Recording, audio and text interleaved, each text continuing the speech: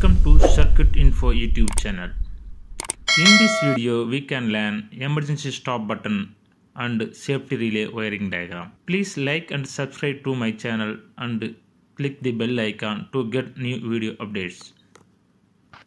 When using this dual channel emergency stop safety relay, the wiring is monitored and compared. If a failure occurs in one area, it will be detected and a stop signal will be sent to the safeguarded machine.